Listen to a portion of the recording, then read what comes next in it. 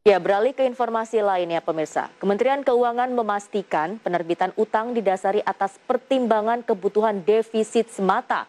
Dirjen Pengelolaan Pembiayaan dan Risiko Kemenq menjelaskan, berbagai kebutuhan anggaran kesehatan hingga bantuan sosial membuat defisit naik sehingga pembiayaan utang harus dilakukan. Naiknya defisit APBN membuat kebutuhan pembiayaan APBN juga semakin meningkat.